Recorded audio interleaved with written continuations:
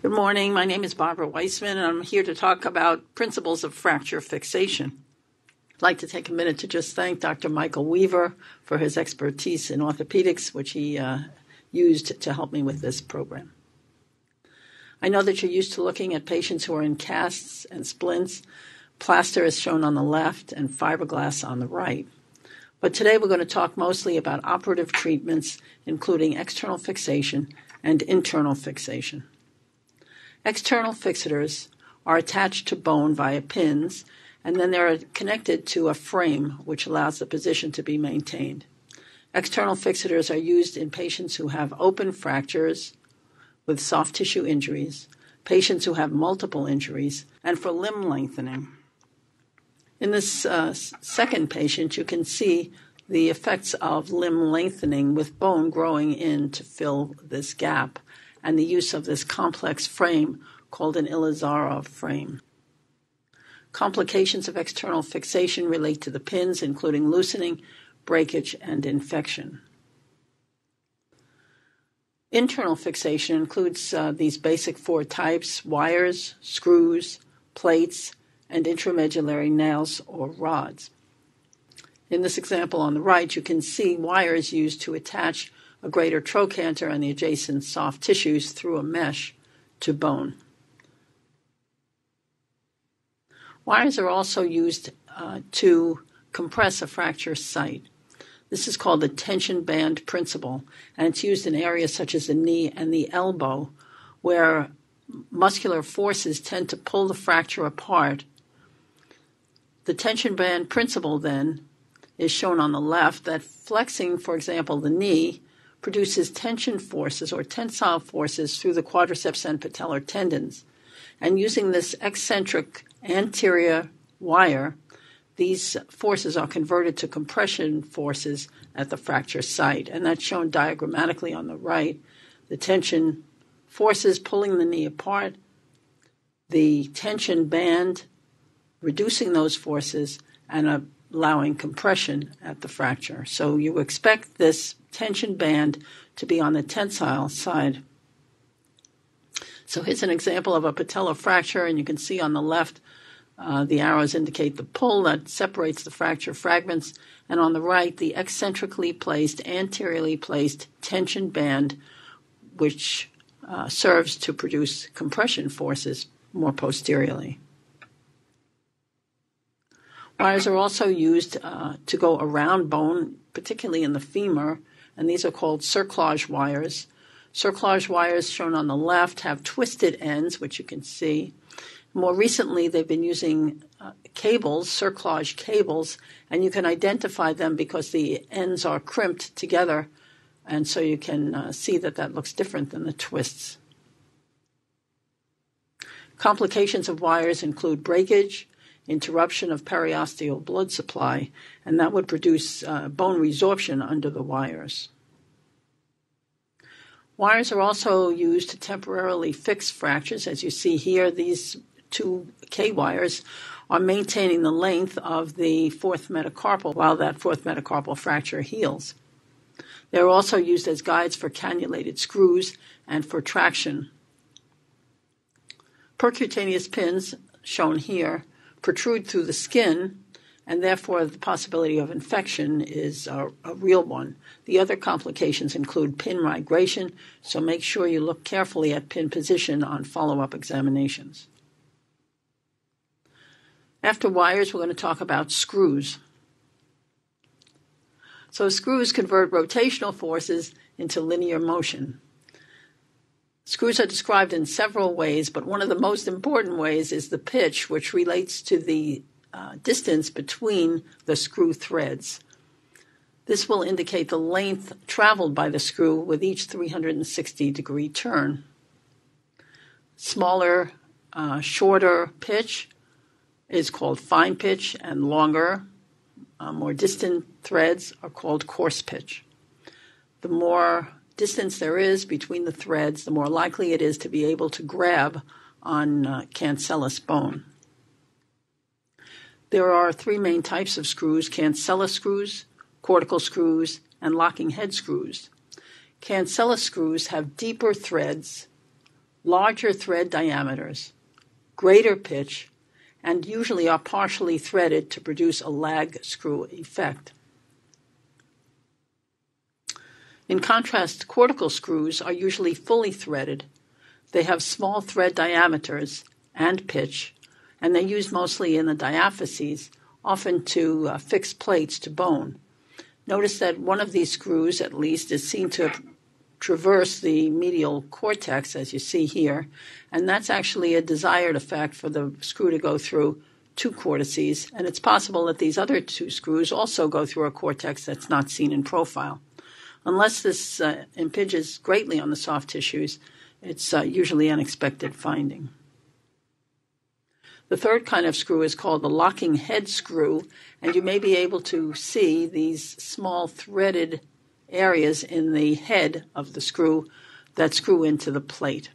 These also have larger diameters, shallow threads, and often blunt edges.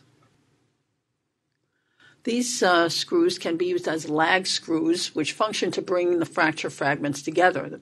Usually, a lag screw has this configuration it's smooth in the shank, and the distal threads are far apart. So, as you screw in this screw, the distal part engages the bone and forces the fracture fragments together against the screw head. If the screw is fully threaded, then you can over drill the proximal part of the screw so that it doesn't engage the bone and only the distal part will engage the bone. There are several kinds of screws that you will see, so we're going to go through them briefly. The so called cannulated screws are hollow inside and allow them to be placed over guide wires, and the typical place for this is in the femur.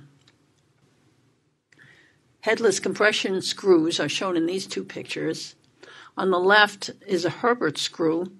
The threads proximally and distally are different. This is very close together, and these are far apart, allowing the fracture fragments to come together when this screw is inserted. Notice that the heads of the screws then are buried so that the joints adjacent to them are not affected. The screw on the right has a variable uh, changing pitch, and this produces a similar effect to bring the fracture, or in this case, the fusion site, together. Interference screws are used particularly for anterior cruciate ligament reconstructions that are of the bone patellar tendon bone type. So bone, as you know, the bone from the patella, bone from the patellar ligament, and bone from the tibial tubercle can be harvested and then inserted in the tract of where the ACL should be. So here's the bone proximally. This is the tract of where the soft tissue of the patellar ligament would be, and here's the bone of the distal uh, part of the tibia. These uh, bone uh, areas are held inside tunnels by these interference screws, which actually push the bone to the end of the to the edge of the tunnel, securing it. Interference screws can be made of metal, as you see on the left, but they can also be biodegradable and barely visible, as you see on the right. So there are several uses to screws. The first is the interfragmentary compression or lag screw, which brings the fracture fragments together. The second is to attach plates to bone. The third is to hold two bones in proper relationships, such as the syndesmotic screw. The next is uh, intramedullary locking uh, screws, which uh, affix the intramedullary nail to the cortices It's called interlocking screws. And the next is to block the movement of a main fracture fragment about an intramedullary nail, and that's called poller screws. In this case, you can see the fracture, unreduced fracture on the left and the reduced and uh, fixed fracture on the right. We have an interfragmentary screw across the ulnar fracture, as you see here.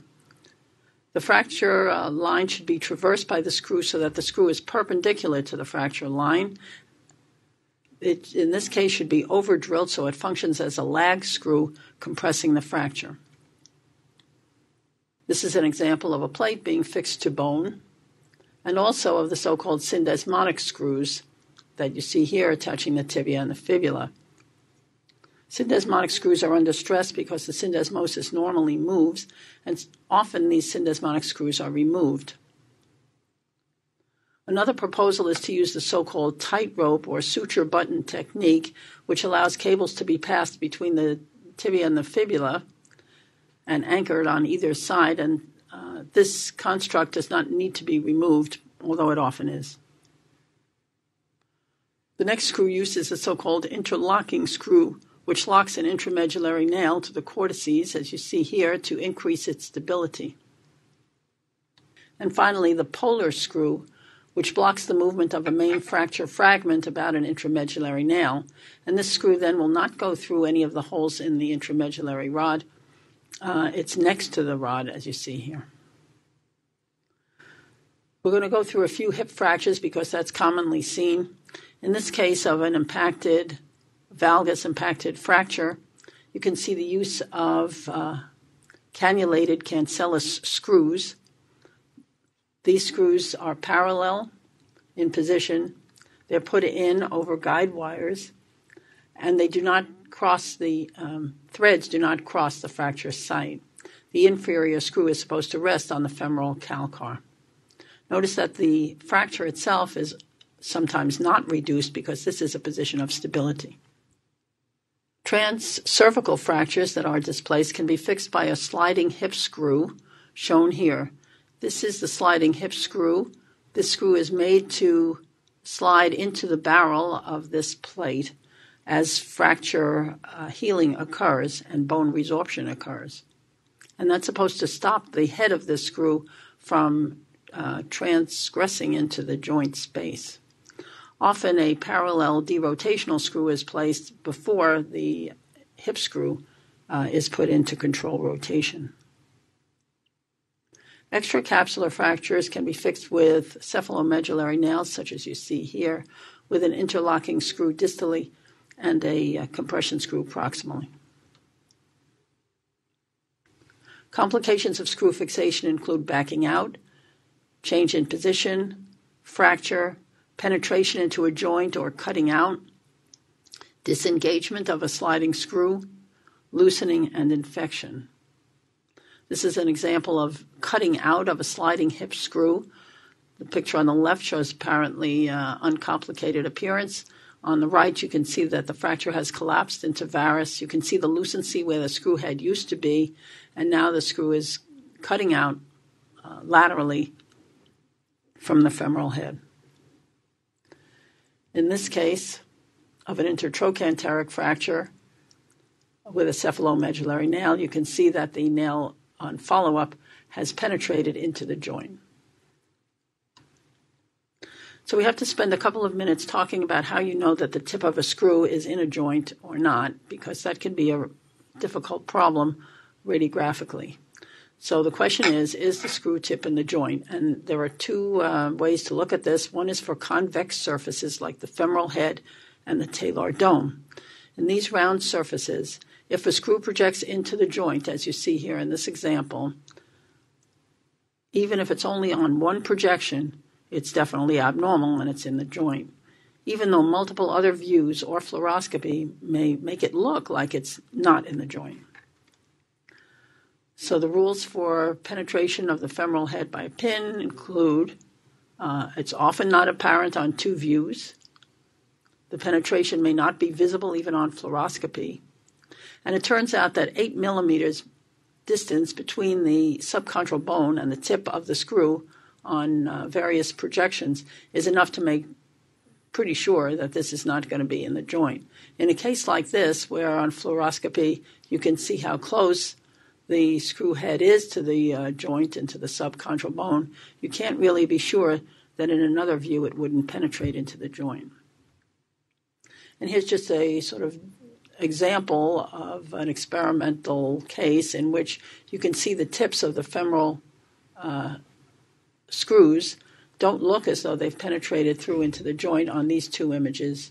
And yet, in the uh, cadaver specimen, you can see that the screw tip is definitely outside of the bone. So, if you see that it's, it's passing the cortex, uh, and appears to be violating the subchondral bone and going into the joint, even on one view, that's abnormal. If this is a round contour, such as the talar head or the femoral head. In contrast, for concave structures such as the acetabulum or the distal radius, the screw can appear to be in the joint on some of the views, but if it projects out of the joint on even one view, then it's okay. So here's our uh, case intraoperatively. You can see all the screws and plates. You can see the screw. Here's the joint. It appears that this screw could be in the joint. But when you turn the patient, you can see that screw is anterior. Here's the joint. So, no, the screw is not in the joint. Other complications of screws include loosening. Loosening is identified by seeing a uh, dark zone around the screw, especially if it's two millimeters or more. And usually that dark zone is differentiated from just osteopenia by the presence of a thin white line adjacent to it, such as you see here. The wider this zone, the more likely it is to be loose. In this case, these screws have also backed out. Screw fracture can be seen as in this case, these syndesmotic screws, we said motion occurs at the syndesmosis, and so this is uh, not totally unexpected. It doesn't always have to be revised. Breakage of screws can be uh, flagrant, as it is in this case, or it can be kind of difficult to see, as it is in this case. You can see the bending and actually the fracture of this screw. And it can be uh, seen only if you turn the patient so that you're perpendicular to the fracture, as you see here. Infection of screws is uh, demonstrated by loosening with a loosened zone around the screw but the white line that we saw around an aseptically loose screw can be not present in patients who have infection. Also, the presence of periosteal reaction can be seen with infection and not usually with, uh, with aseptic loosening, at least not this irregular periosteal reaction. Next, we're going to talk about plates. So there are several functions of plates. The neutralization plate across simple fractures treated with a lag screw, that plate will neutralize rotational stress. The compression plate used in simple transverse fractures to compress the fracture. In those fractures, callus formation is minimal and fracture healing occurs directly across the fracture site. The third one is the buttress plate, which is used in partial articular joint fractures and compresses the fracture fragments. The fourth one is bridging plates, which bypass a comminuted fracture. Fifth is anti-glide plate, which prevents overriding of fracture fragments. And sixth is tension band plate, which is similar to a tension band wire in its um, effect. You can tell functions of plates by looking at the entire construct, but we usually, as radiologists, do not necessarily dictate this. You can see on the right the case we saw before, with a lag screw across the fracture site. This is then a neutralization plate. On the radius, there's a plate bringing these two uh, fracture fragments together in this simple fracture that will produce compression at the fracture site and will allow healing to occur with minimal callus formation. That's a compression plate. This is a buttress plate. This is a bridge plate which goes across this very comminuted fracture. It's not fixing the fracture fragments, it's bypassing the fracture and holding it in place.